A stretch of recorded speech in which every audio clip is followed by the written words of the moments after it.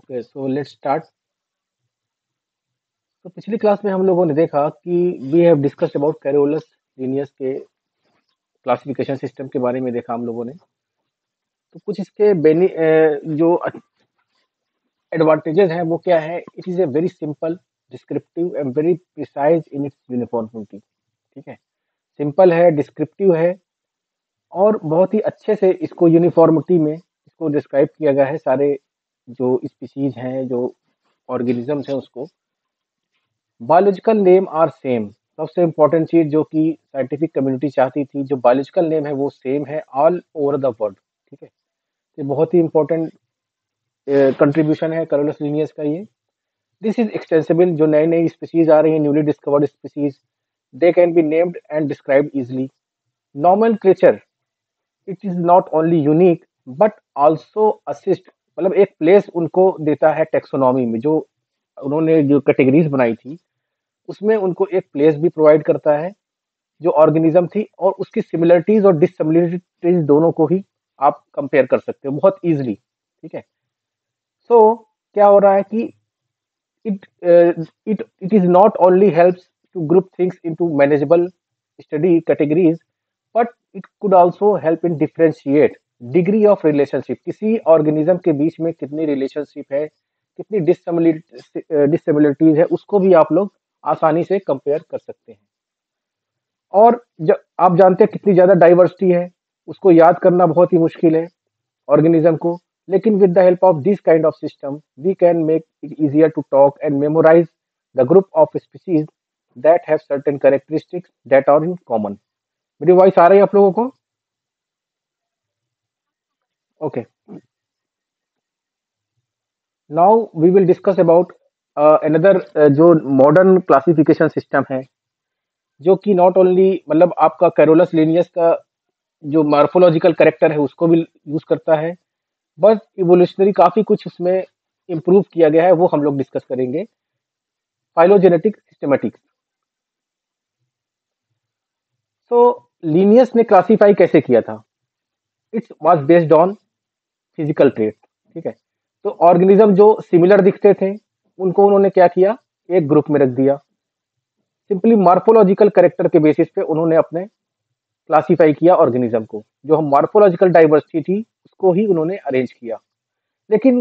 After Darwin जब theory of evolution आई तो उसके बाद साइंटिस्ट ने ऐसे तरीकों को खोजने की कोशिश की कि इस kind of classification system that can also show phylogeny उनका इवोल्यूशनरी रिलेशनशिप भी उसको पता चल सके सो इसी क्रम में क्या हुआ कि taxonomist today consider not only the morphological characters like Linnaeus है ना but we they are also using chromosomal characteristics nucleotide and amino acid sequences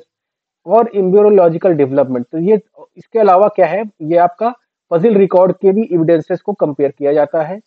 और उसके बाद आपका बनाया जाता है फाइलोजिनी आप लोग फेमिलियर हो फाइलोजिनी से ओके तो ये सारा जो आप देख देख पा रहे हो कि टेक्सोनॉमिक जो है अब मार्फोलॉजिकल करेक्टर जैसे लीनियस वाले थे वो तो यूज ही करते हैं क्योंकि हम लोग जानते हैं कि अगर आपका डीएनए जो है वो ट्रेड्स के लिए जिम्मेदार है है ना तो डीएनए अगर ट्रेड्स के लिए जिम्मेदार है फिनोटिपिक करेक्टर्स के लिए तो अगर किसी स्पीसीज में दोनों डीएनए सेम होंगे तो जनरली उसकी जो करेक्टरिस्टिक्स है वो भी सेम होनी चाहिए ठीक है अगर डीएनए के कोड डिफरेंट होंगे तो करेक्टरिस्टिक्स भी डिफरेंट होंगी और इसके अलावा फजिल रिकॉर्ड से जो प्रूफ होता है इम्ब्रियोलॉजिकल डेवलपमेंट जो सिमिलर इम्ब्रियोलॉजिकल डेवलपमेंट है उन सबको मैच करके अब टेक्सोनॉमिक्स यूज करते हैं क्लासिफिकेशन सिस्टम वो कैसे होता है हम लोग यहाँ पे डिस्कस करेंगे so phylogeny is a basically a tracing evolutionary link and origin किसी भी ऑर्गेनिज्म का एवोल्यूशनरी लिंक एक जो ट्री ऑफ लाइफ है उसमें वो ऑर्गेनिज्म कैसे जुड़ा हुआ है उसको बेसिकली ट्रेस करने की एक स्टडी है है ना एक ब्रांच है ब्रांच ऑफ बायोलॉजी है फाइलोजेनी जिससे हम लोग किसी भी ऑर्गेनिज्म का ओरिजिन चेस कर सकते हैं सो so, जब many groups have been compared the protein structure of DNA sequences ठीक है तो डीएनए सीक्वेंसेस अलग अलग ऑर्गेनिज्म के से एक, अब यहाँ पे देखिए कुछ लिखा हुआ है कि 50 परसेंट बनाना जीन्स तो इसका क्या मतलब है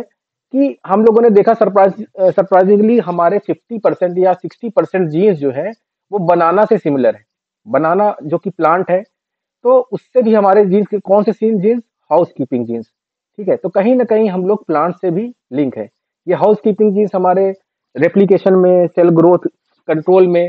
इसमें हेल्प करते हैं these are the housekeeping genes तो हम लोगों ने देखा with the help of this nucleotide study कि हमारे सिमिलर हो सकते हैं तो द सिमिलरिटी बिटवीन द तो इसमें हम लोग क्या करते हैं we we compare the amino acid sequences amino acid हम लोग जानते हैं कि एमाइनो एसिड जो सीक्वेंस होता है उससे हमारा प्रोटीन बनता है ठीक है तो एमाइनो एसिड सीक्वेंस को हम लोग कंपेयर करते हैं और we determine the evolutionary link इसके अलावा हम लोग देखते हैं डिफरेंसेस इन डीएनए जो न्यूक्लियोटाइड्स है उसमें डिफरेंसेस क्योंकि इसमें डिफरेंस आएगा तो आपका प्रोटीन में डिफरेंसेस आ जाएगा ठीक है और ये डिफरेंसेस कैसे होते हैं ड्यू टू द म्यूटेशन ठीक है म्यूटेशन होते हैं और जो इवोल्यूशनरी सॉरी जो स्ट्रेस हमारे चारों तरफ है इन्वायरमेंटल स्ट्रेस या किसी टाइप का तो उसके कारण होगा म्यूटेशन और ये एक्यूमुलेट होके स्पीसीज को बहुत ही अच्छा बनाएंगे उसको वो करेंगे तो इस प्रोसेस में क्या होगा डिफरेंसेस आएंगे इन डीएनए और इन्हीं से क्या होता है कि हम लोग एक इवोल्यूशनरी क्लॉक काइंड ऑफ बनाते हैं वेट अ मिनट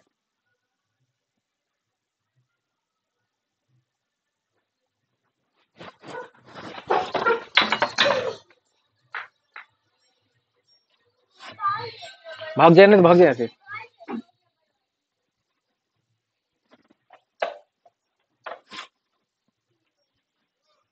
क्लास देखने से तो मत आया कर मैं मार पहुंचे गए मैंने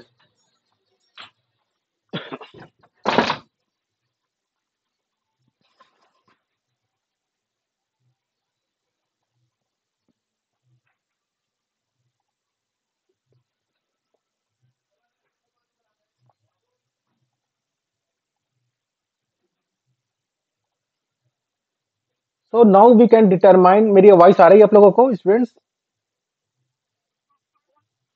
okay now we can determine how long ago species split from its ancestor ठीक है so evolutionary tree depicts the relationship between living and extinct species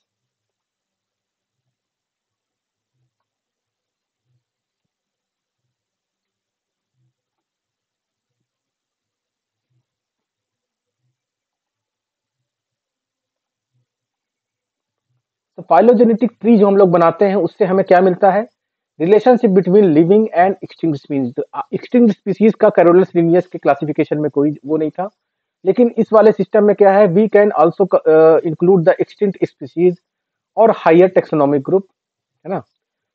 और इसी का एक नया नाम दिया गया है systematics which classifies the organism and determines their evolutionary relationship in branching phylogenetic tree systematics क्या करता है use fuzzy molecular and genetic data to infer evolutionary relationship okay now let's uh, discuss the comparison hai na taxonomy jo hai it's a classification of biology it's a branch which that deal with the system classification matlab ki ek dictionary ki tarah aap ko organism uh, जो है living organism उनको arrange कर सकते हो आप this is the pre Darwinian जब Darwinian theory नहीं आई थी उसके पहले की हम लोग ये क्लासिफिकेशन सिस्टम ये वाला यूज करते थे now we are using this kind of classification system उसमें क्या है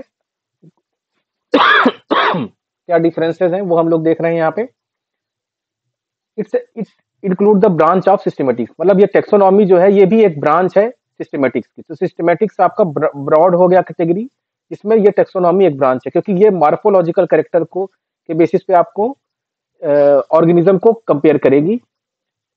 it involved in the classification and naming the organism. It it is also involves the classification naming, but also cladistics and phylogenetics. ठीक है क्या होता है cladistics and phylogenetics वो अभी हम लोग देखेंगे does not deal with the evolutionary history of organism ये सिंपली जो है मार्फोलॉजिकल करेक्टर के बेसिस पे था लेकिन now we will discuss about evolutionary history of organism can change अगर कुछ और इंक्लूड हुआ तो फर्दर स्टडीज में ये चेंज हो जाता था लेकिन ये doesn't change further study because ये on the basis of not only morphological character but also another properties branch of the biology okay now let's move on to this so now we are linking morphological diversity with phylogeny phylogeny की अगर definition देखें phylogeny is the study of relationship among different group of organism and they are evolutionary development और इसी से हम लोग बनाते हैं एक फाइलोजेनेटिक ट्री ठीक है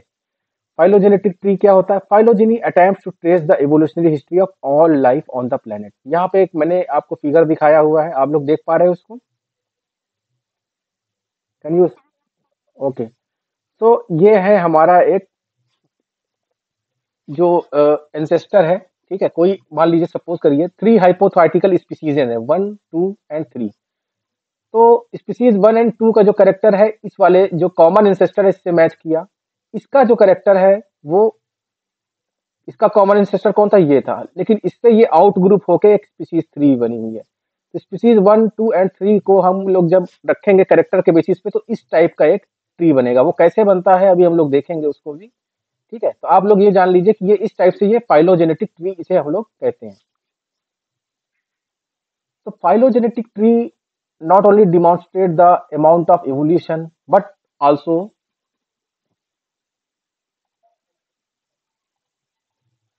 order of divergence for several genomes ठीक है तो जो अमाउंट ऑफ इवोल्यूशन है वो भी वो भी बताता है बस ऑर्डर ऑफ डाइवर्जेंस कितना ज्यादा जीनोम डाइवर्ज हुआ है अपने ओरिजिनल से वो भी आपको बताएगा there are two kind of phenetic एक तो रूटेड होगा जिसका हम लोग जानते हैं पोजीशन कि लास्ट कॉमन इंसेस्टर कौन था और अनरूटेड का मतलब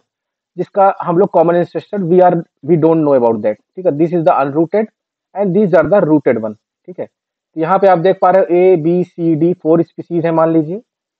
तो यहाँ पे कॉमन इंसेस्टर हम लोग मैच करते जाएंगे मोस्ट रिसेंट कॉमन इंसेस्टर जिसे हम लोग नोड बोलते हैं ठीक है जो ब्रांचिंग पॉइंट है उसको हम लोग नोड बोलते हैं so this is the node for A and B and this is the node for C and D और इन दोनों का कंबाइन नोड यहाँ पे है ठीक है most recent common ancestor of A B C and D तो इसकी जो प्रॉपर्टीज हैं वो इन चारों की प्रॉपर्टी से कुछ ना कुछ मैच करेंगी तो this is the common ancestor तो इस तरह से लिंक जोड़ के हम लोगों ने ये देखिए यहाँ पे एक बनाया हुआ है this is a common ancestor of human chimp mouse and rat इस टाइप से ये ब्रांच निकली हुई है तो फाइलोजेनेटिक ट्री ट्री को डिस्कस करने से पहले हम लोग कुछ टर्म समझ लेते हैं ठीक है phylogenetic tree represent a hypothesis about evolutionary जो हम लोगों ने बताया आपको इसके अलावा ईच ब्रांच पॉइंट जिसे हम लोग नोड भी बोलते हैं represent divergence of two species जो ब्रांच पॉइंट है वो क्या होगा वो डाइवर्जेंस ऑफ टू स्पीसीज को बताएगा किसी इवोल्यूशनरी पॉइंट पे वो स्पीसीज आपस में डाइवर्ज हुई हैं वो हमको बताता है sister taxa are groups that share an immediate common ancestor ठीक है सिस्टर टेक्सा क्या होता है जो इमीडिएट कॉमन एंसेस्टर ये दोनों ही जो ग्रुप है उसका कॉमन एंसेस्टर सेम होगा a rooted tree represent the last common ancestor of all taxa in the tree मैंने बताया था कि इसका कॉमन एंसेस्टर पता होता है उसको हम लोग रूटेड बोलते हैं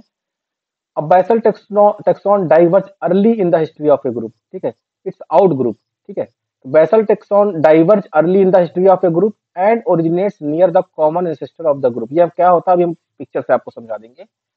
polytomy is a branch from which more than two group of emerge तो यहाँ पे आप दे, देखिए पिक्चर ये पिक्चर आप लोग देख पा रहे हो students can you see this picture तो this is the ancestral lineage suppose करिए ये सिंगल सेल थी जो हमारी रिवोल्यूशन के टाइम में बनी थी यहां से दो ब्रांचेस निकली आपकी एक ब्रांच यहां निकल गई और एक ब्रांच यहां पे निकल गई ये कौन सी ब्रांचेस है ये इवोल्यूशन की ब्रांचेस है ठीक है इस इवोल्यूशनल स्ट्रेस के कारण दो स्पीसीज तो जो है अलग अलग बनी तो एक स्पीसीज जो है टेक्सॉन जी ठीक है ये अलग ही निकल के एक इस, इसका एवोल्यूशनरी हिस्ट्री में अलग ही इसका वो हुआ और ये हमारा बेसल टेक्सॉन बन गया ठीक है इसे हम लोग बोलेंगे बेसल टेक्सॉन ये कहीं और ब्रांच पॉइंट यहाँ आपको नहीं मिलेगा सिर्फ इसका बेसल टेक्सॉन जबकि ये वाली स्पीसीज जो ये वाली ब्रांच थी ये अलग यहाँ पे फिर से डाइवर्ज हुई दो स्पीसीज बनाई यहाँ पे अलग अलग फिर यहाँ से फिर से ब्रांचेस थी अलग अलग ब्रांचेस होते होते ये लास्ट में इस इवोल्यूशनरी प्लांट पे पॉइंट पे यहाँ पे सारी की सारी एक स्पीसीज का यहाँ पे आपको मिल रहा है जो हम लोग रिसेंट में है मान लीजिए एक taxon A taxon B taxon C इस टाइप से दिया हुआ है दी ज्यादा सिस्टर टेक्सा अब यहाँ पे देखिए ये दोनों ब्रांचेस जो है आपस में एक ही इंसेस्टर कंबाइनली क्या करती है शेयर करती हैं तो ये क्या है सिस्टर टेक्सा है आपस में एक ही इंसेस्टर जो है इनका है पॉइंट और यहाँ पे ये वाली ब्रांच देखिए पॉलीटोमी इसे हम लोग पॉलीटोमी बोलते हैं क्योंकि यहाँ से कई ब्रांचेस निकली हैं टेक्सॉन डी ई एफ ठीक है तो it's an unresolved pattern of divergence we call it polytomy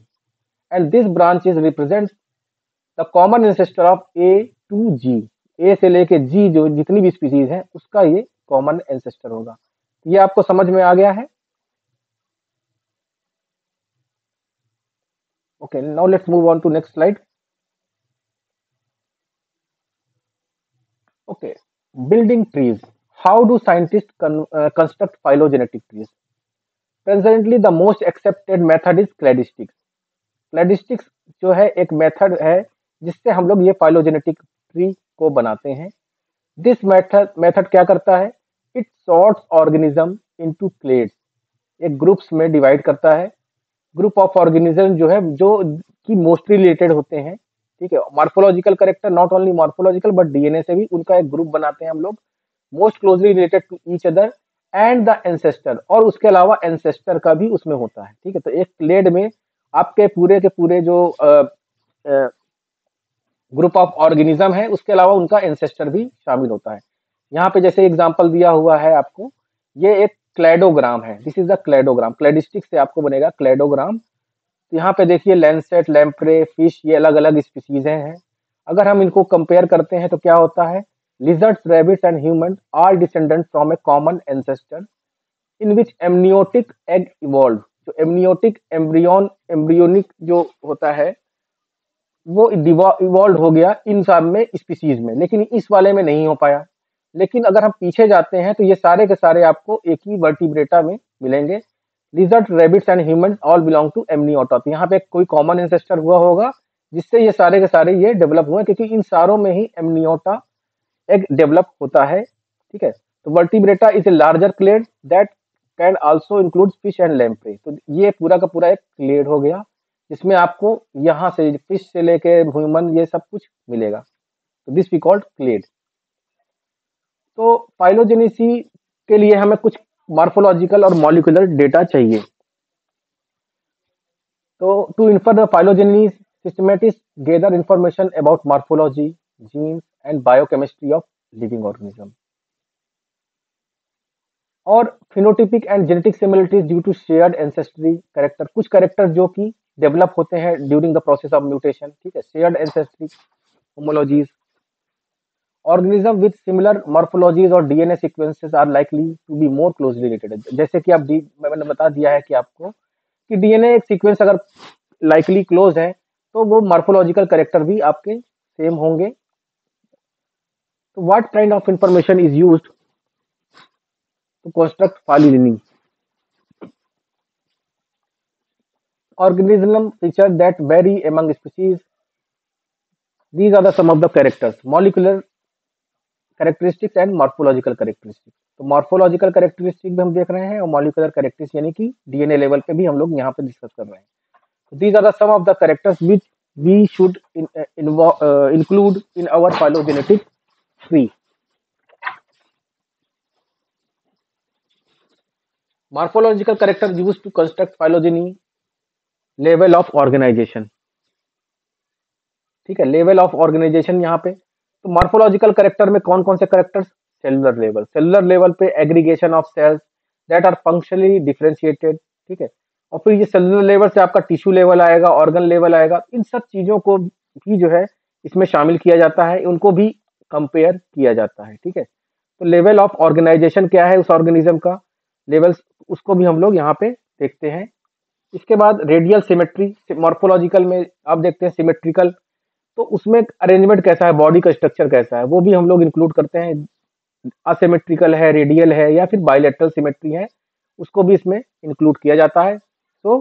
we can we should also include symmetry of the body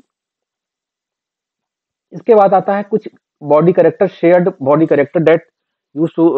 जैसे कि शेयर्ड एंसेस्ट्रल करेक्टर जो एंसेस्टर वाले करेक्टर हैं वो कौन हाँ हेलो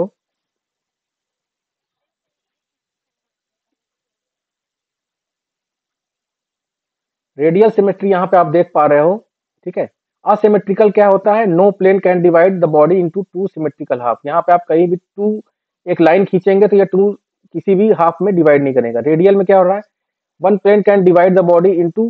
two symmetrical half ठीक है ये एक प्लेन आप खींचेंगे ये टू सिमेट्रिकल हाफ हाफ में हर जगह से कहीं से भी आप इसको करोगे डिवाइड तो वो रेडियल सिमेट्री हो जाएगी ठीक है कहीं से भी आप इसको करेंगे तो इस तरफ से इसको रेडियल सिमेट्री बोलेंगे बाइलेटरल में क्या हो रहा है कि one plane only in two symmetrical half ठीक है मतलब इसमें ग्रेटर देन होगा मतलब एक एक ही प्लेन इसमें होगा बायोलेट्रल में जबकि इसमें ग्रेटर देन वन प्लेन कहीं से भी आप डिवाइड करेंगे इसको तो greater than one plane can be divided into two symmetrical half ठीक है तो एक रेडियल काइंड ऑफ आप देख पा रहे हो यहाँ पे picture okay so now let's move on to this in comparison with its ancestor and organism has both shared and different different तो हम लोग जब बॉडी ऑर्गेनिज्म को कंपेयर करते हैं तो उसके एंसेस्टर वाले करेक्टर भी देखते हैं इसके बाद वो भी करेक्टर हम लोग इंक्लूड करते हैं जो कि during the process of evolution generate हुए उसको हम लोग बोलते हैं शेयर्ड डिराइव्ड करेक्टर ठीक है so shared ancestral character share derive character a character can be both ancestral derive depending on the context when inferring inversely it is useful to know in which clear a share derive character first overall we should also compare the different characters such as homology and analogy ठीक है तो हम लोगों ने are you familiar with homology character and analogy character students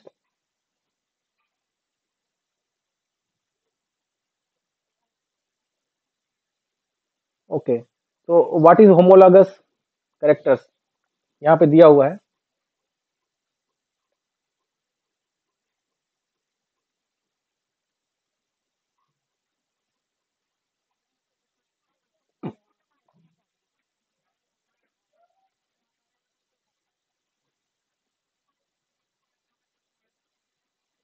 okay different structure होते हैं वो analogous होते हैं और एक एक एक बताइए एक एक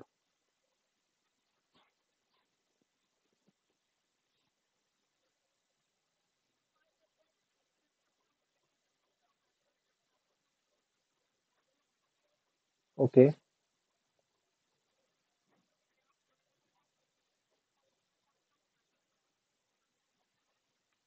स्ट्रक्चर वाइज डिफरेंट होता है लेकिन फंक्शन सिमिलर होता है ठीक है okay when constructing a a systematic needs to distinguish between homology and analogy ठीक है होमोलॉगस करेक्टर्स क्या होते हैं that are character similar to one another due to shared ancestry जो एनसेस्टर से हमें मिले हुए हैं नॉट एनसेस्टरी शेयर्ड फंक्शन ये जरूरी नहीं है कि वो फंक्शन को भी शेयर करें है ना यहाँ पे आप देख पा रहे हो कुछ बॉडी uh, का structure human cat whale bat है ना तो इन सब का स्ट्रक्चर ये uh, देखा गया कि ये सारे के सारे आपको स्ट्रक्चरली जो है वो एंसेस्टर के सिमिलर मिलेंगे ठीक है लेकिन इनके फंक्शन जो है वो डिफरेंट है तो characters that are similar in due to share ancestry but it is not their share their function ठीक है so homology similarity due to shared ancestry analogous characters that are similar to one another but in function but not in ancestry मतलब function में similar है लेकिन ancestry में जरूरी नहीं है कि वो सिमिलर हो ठीक है तो analogy similarity due to convergent evolution which occur due to when similar environmental pressure occur ठीक है एक सिमिलर इन्वायरमेंटल प्रेशर स्पीसीज पे पड़ा और उसके कारण उनमें अलग अलग प्रकार से अलग अलग ऑर्गन का डेवलपमेंट हुआ लेकिन वो एनसेस्ट्रिकल एंसेस्ट्रिकल रूप से वो सिमिलर नहीं है ठीक है so that we called analogy these are the some of the examples wings wings आप जानते हो बैट में भी विंग है बर्ड में भी है इंसेक्ट में भी है लेकिन जो बर्ड और बैट का विंग है they are the homologous how are the जो हनी विंग है it's very different structure because it is made of chitinous exoskeleton not a bony endoskeleton जैसे कि इसमें बना हुआ है ठीक है एंड इट्स इसकी एम्ब्रियोनिक ओरिजिन भी जो कंपेयर किया गया तो वो भी उससे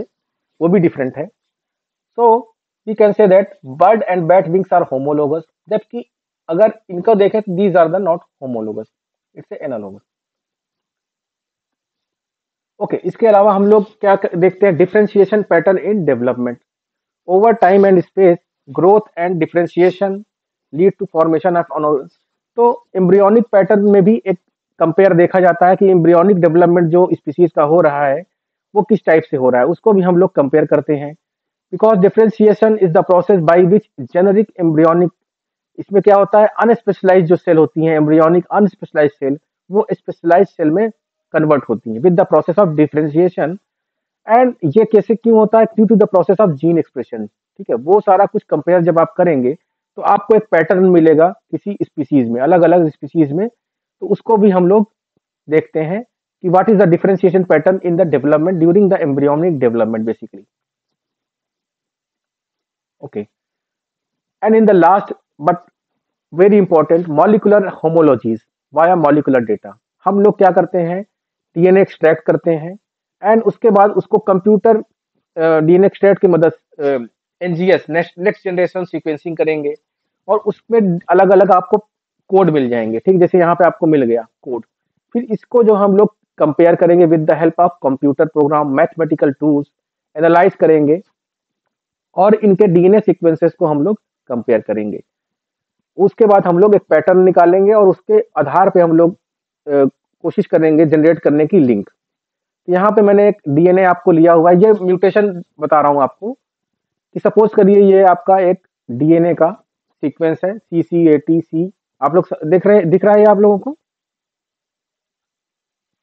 तो तो डीएनए आपका डबल स्टैंडर्ड होता तो एक स्टैंड का ये हो गया दूसरे स्टैंड ये हो गया ओके तो ये फिर क्या हुआ डिलीशन हुआ यहाँ पे ठीक है यहाँ पे डिलीशन हुआ डिलीशन के कारण हुआ और यहाँ पे इंजर्शन हुआ डिलीशन का मतलब ये वाला कोड डिलीट हो गया यहाँ पे एक कोड इंजर्ट हो गया during the process of mutation अब क्या हुआ कि हम हमें पता है प्रोटीन सिंथेसिस जब होती है तो क्या होता है थ्री न्यूक्लियोटाइड का एक एमाइनो एसिड बनता है ठीक है इस टाइप से एक वो प्रोटीन सिंथेसिस के दौरान मैं आपको समझाऊंगा कैसे क्या हो, वो होता है तो वो क्या होगा एमाइनो एसिड का सीक्वेंस चेंज हो जाएगा तो एमाइनो एसिड का जब सीक्वेंस चेंज हो जाएगा तो क्या होगा ये ओवरऑल आपका सीक्वेंस ही बदल जाएगा प्रोटीन का सीक्वेंस ही चेंज हो जाएगा और जब प्रोटीन बदल गया तो उसमें आ जाएगा तो ये जो एंसेस्टर वाला कोड था वो डिफर हो गया यहाँ पे due to the process of mutation deletion and insertion so so it is very important जो इस, इसमें भी जो हम लोग distinguish homology from analogy in molecular similarities mathematical tools different mathematical tools क्योंकि इतना ज़्यादा डेटा होता है ये इसको कोई ह्यूमन कंपेयर नहीं कर पाता है तो इसके लिए हमें कंप्यूटर की मदद मैथमेटिकल इक्वेशंस की मदद लेनी पड़ती है तो इससे वेरी अलग ब्रांच है molecular systematics which uses DNA and molecular data to determine the evolutionary relationship okay now we will discuss a brief in about cladistics ठीक है तो क्लेडिस्टिक क्या है हाँ बताइए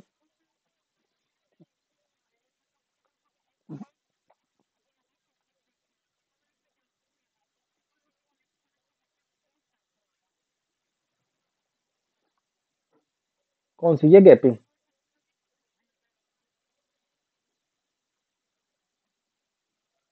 देखिए कुछ कोड आपके मिस हो गए यहाँ पे है ना जब प्रोटीन सिंथेसिस हो रही है तो ये कोड नहीं रीड होंगे तो इसके जो डिफरेंट ये मतलब मुझे भी समझ में नहीं आया ये वाला समझ रहे हैं मैं भी इसको समझ नहीं पाया हूँ क्या है ये ये किसी स्लाइड भी नहीं थी मैंने उसको कॉपी कर लिया ये आप समझ लिया कि म्यूटेशन हो रहा है यहाँ पे डिलीशन होता है कभी कभी कोई न्यूक्लियोटाइड हट जाता है कोई म्यूटेशन होती है तो उससे क्या है इंजर्शन भी होता है कोई न्यूक्लियोटाइड आ जाता है तो उसके कारण क्या है कोड आपका चेंज हो जाता है जो प्रोटीन कोडिंग सीक्वेंस है वो आपका चेंज हो जाएगा ठीक है जैसे सपोज करो सी सी ए से एक कोई एमाइनो एसिड आपका बन रहा है टी सी ए से एक अमाइनो एसिड बन रहा है जी ए जी से एक अमाइनो एसिड बन रहा है अब यहाँ से अगर जी हट गया ठीक है तो क्या हो गया ए ए जी आएगा अब ए ए जी से क्या है कोई अलग ही कोड बनेगा ठीक है तो यहां से ये पूरा का पूरा सीक्वेंस जो है डिफरेंट प्रोटीन बनाएगा आपका तो ओवरऑल ये आप समझिए कि यहाँ पे इस तरह के म्यूटेशन होते हैं जिसके कारण आपका प्रोटीन सीक्वेंस जो पहले बनता था वो चेंज हो जाता है ठीक है is it clear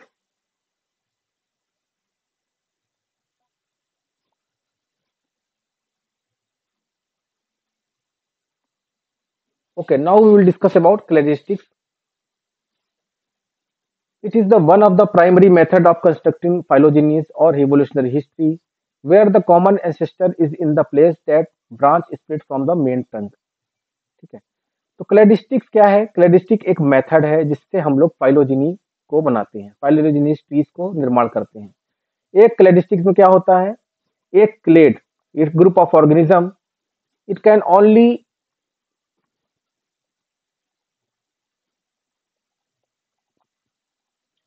it can only contain organisms that do not uh,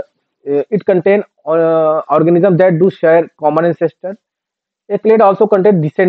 ठीक है इसके ऑल डिसेंडेंट होंगे और उसका एक कॉमन एंसेस्टर होगा एक क्लेड में तो यहाँ पे कुछ मैंने एग्जांपल दिखाए हुए हैं आपको यहाँ पे आप देख पा रहे हो this is the blue green and red one तो ये क्लेड है दीज आर द क्लेड लेकिन this is the not real clade क्यों क्योंकि इसमें आपके पूरे डिसेंडेंट नहीं आए हुए हैं ठीक है ये वाले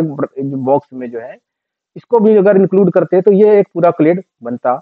तो दीज आर द ये क्लेड है ये क्लेड है but green box represented does not represented true clade because all of the ancestor of dust common state are not included ठीक है blue and orange by contrast are true clade because they contain common state of the ancestor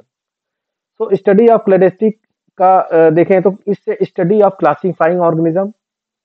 A method of comparing traits in related to species to determine ancestor and descendant relationship.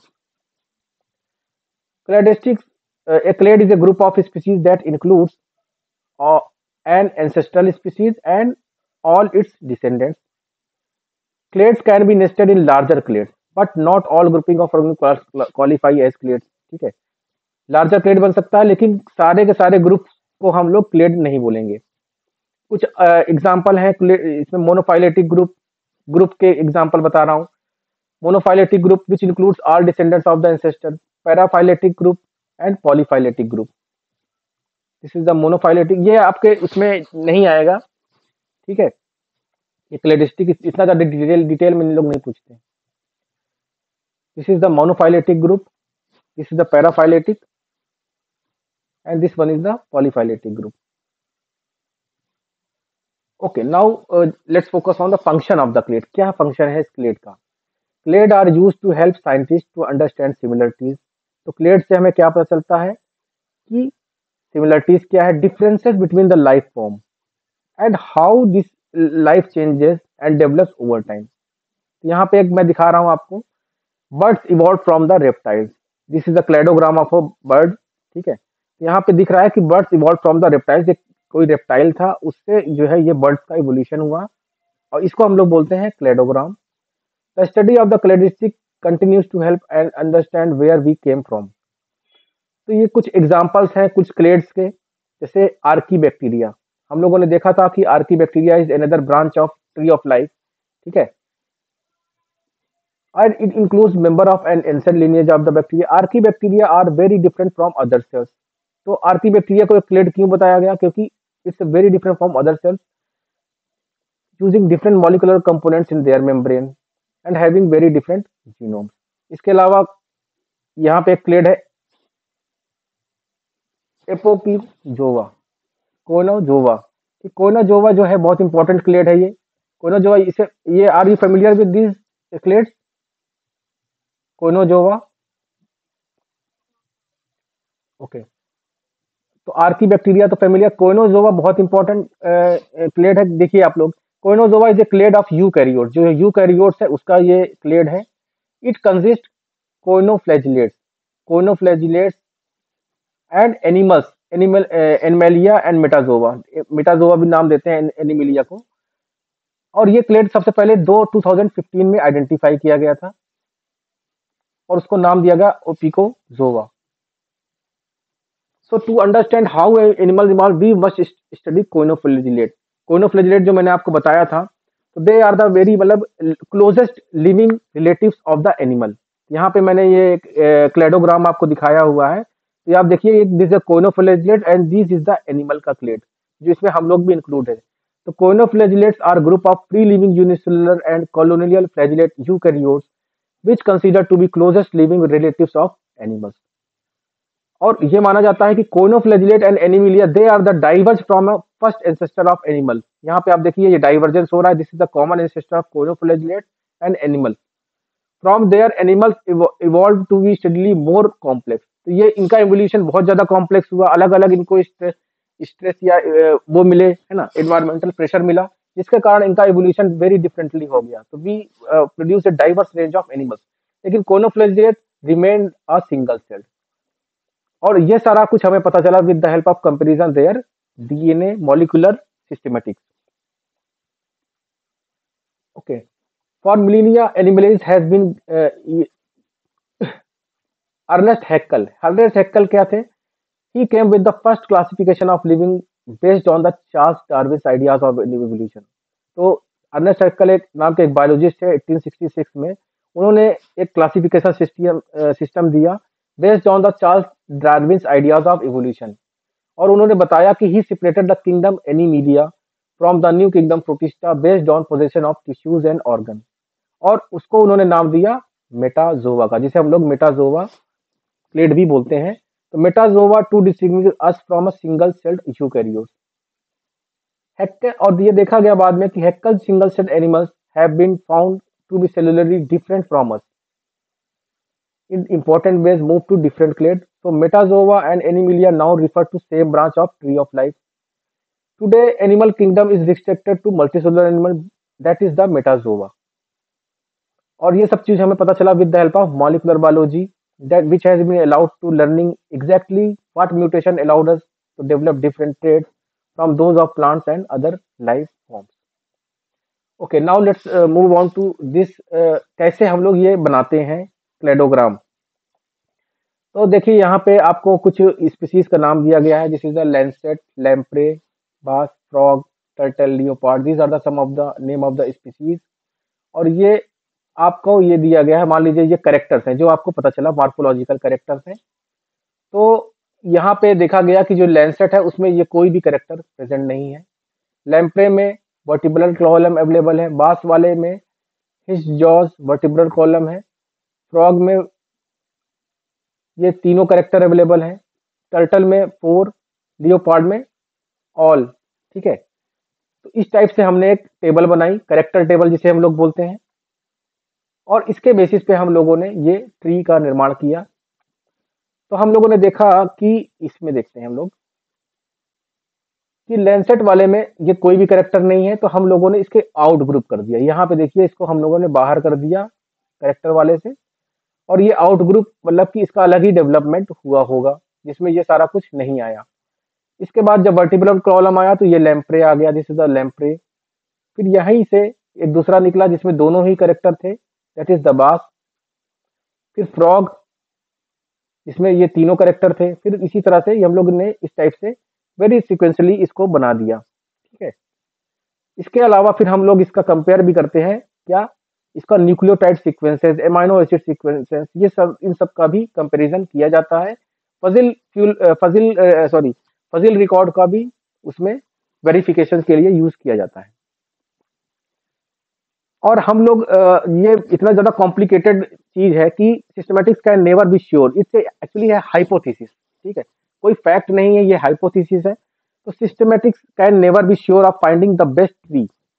तो we need to narrow the possibilities by applying the principles कुछ principle हम लोग apply करते हैं जैसे कि maximum parsimony and maximum likelihood maximum parsimony क्या है जिसमें सबसे ज़्यादा कम इवोल्यूशनरी इवेंट हुए होंगे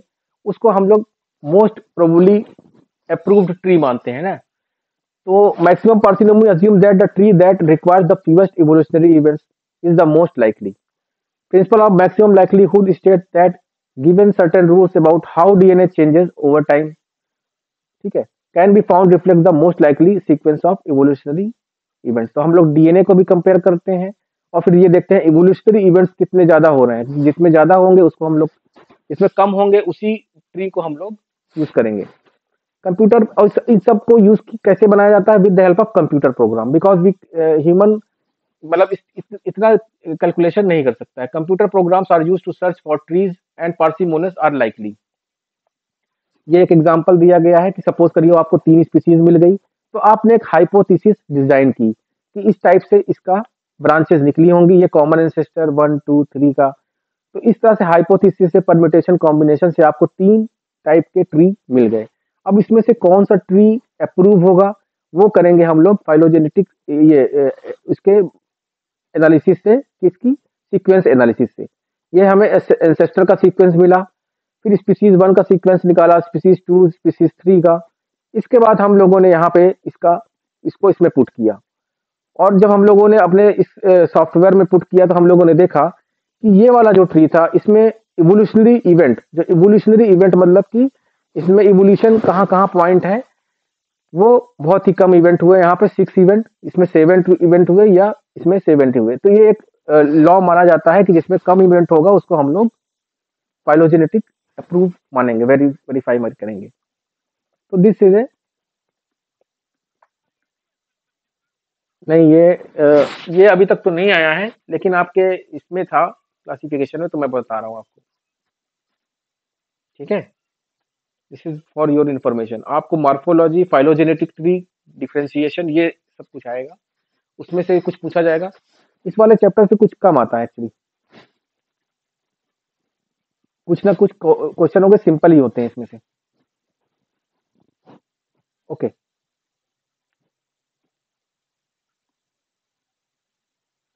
तो मैं लास्ट में आ जाता हूं ओके तो एक ये देखिए आप लोग difference between cladogram and phylogenetic tree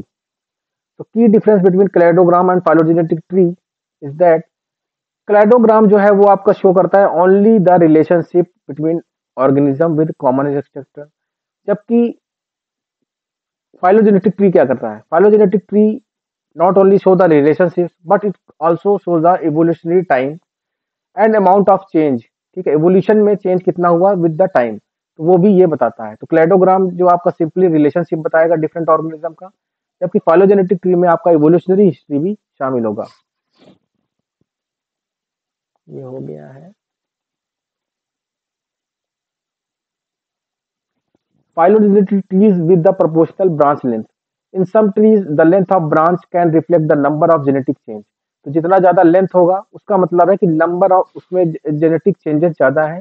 that have taken place particularly DNA sequence in that lineage तो इससे हमें क्या पता चलता है in other word branch length can be represent the chronological time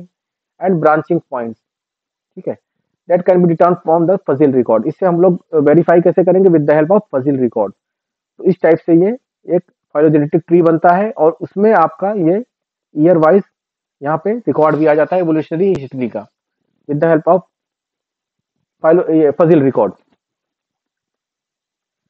okay तो इन द लास्ट हम लोग ये देखते हैं कि new information continues to revise in our understanding of tree of life ठीक है तो हम लोगों ने रिसेंटली uh, ये फाइंड आउट किया कि Crocodiles, birds, and dinosaurs are more closely related to each other than any one of them is to snake or lizard. theek hai to snake or lizard wo bhi reptiles mein aate the lekin crocodiles, birds, and dinosaurs are more closely related. Reptiles did not all spring from one common ancestor. Composite of several branches that have occurred during the evolution of vertebrates. And we could also find out that fungi are more closely related to animals than plants. तो fungi jo hai wo hamara Uh, closely related to the animal as compared to the plant. Upon studying our genome, scientists now think that ancestor of fungi and animals had diverged after the ancestor of plants that was already separate lineage. Archaebacteria, previously classified as weird type of bacteria, is actually completely separate branch of life. Archaebacteria को हम लोग ने सबसे पहले माना था कि archaebacteria से बैक्टीरिया बना होगा फिर बैक्टीरिया से हमारा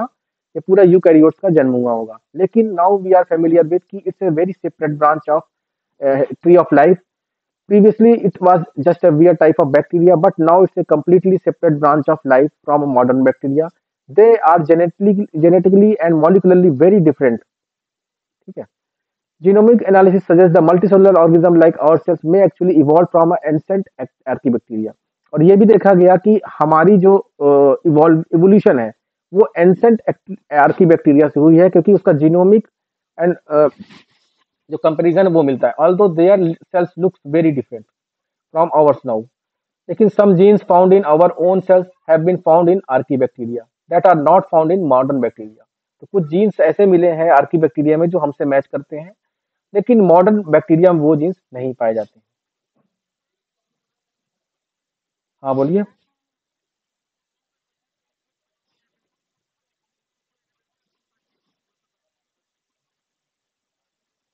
कहाँ से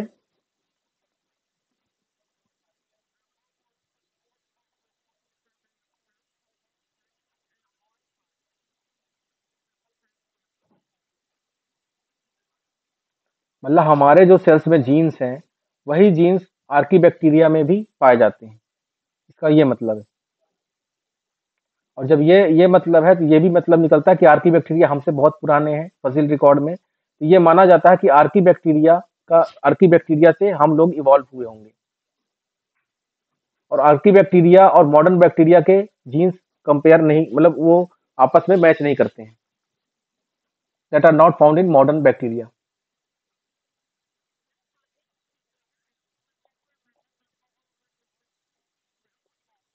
हाँ दोनों के बीच में टोटली डिफरेंट है ठीक है okay new information continues to revise our understanding of the tree of life recently we have gained insight into very deepest branches ठीक है तो अब हम लोग थ्री डोमेन सिस्टम जो कि हम लोग पहले बताया था आपको three domain system supported by the data many sequence classification scheme genomes और इस टाइप से हम लोग ट्री ऑफ लाइफ को मानते हैं ये कॉमन एंसेस्टर था जिससे एक डिफरेंट ब्रांच का जन्म हुआ बैक्टीरिया जिसे हम लोग बोलते हैं इसी ब्रांच से जन्म हुआ आपका आर्किया का जिस कॉमन एंसेस्टर से और यही कॉमन एंसेस्टर से ये अलग ही जन्म हो गया यूकेरिया का ठीक है this is the modern tree of life तो इस टाइप से ये बना हुआ है हम लोग और अगर इसमें डिटेल में जाएंगे तो ये इस टाइप से है और ये कोइनो कोइनो फ्लैजिलेट की पिक्चर है Okay, so the tree of life suggests that eukaryotes and archaea are more closely related to each other than bacteria. Tree of life based largely on ribosomal genes as they have evolved slowly. okay there have been substantial interchange of genes between between so the evolution hua to aapas mein kafi interchange hua with the help of horizontal gene transfer isme kya hua ki movement of gene to one genome se other genome hua iske baad kya hua exchange of transposable elements aapas mein recombination hua उससे और ज़्यादा evolution हुआ so horizontal gene transfer complicates efforts to build a tree of life some researchers suggest that eukaryotes arose as a fusion between bacterium and archaean. If so, early evolutionary eh, uh, कुछ uh, अब ये ये भी कहा जा रहा है eukaryote arose as a fusion between bacterium and archaean ठीक है कुछ रिसर्चर्स ये भी कह रहे हैं क्योंकि ये साइंस जो है हाइपोथेसिस होती है कुछ कुछ पॉइंट मिले होंगे जैसे रिसर्चर्स को तो नाउ दे आर सजेस्टिंग कि we are fusion between bacterium and archaeum if so अगर ये प्रूफ हो गया तो we early evolutionary relationship might be better depicted by ring of life not a tree of life तो अगर ये proof हुआ तो ये इस टाइप से होगा कि आर्किया और बैक्टीरिया मिले और ये यूकेरिया का इस टाइप से जन्म हुआ okay now it's last slide ठीक है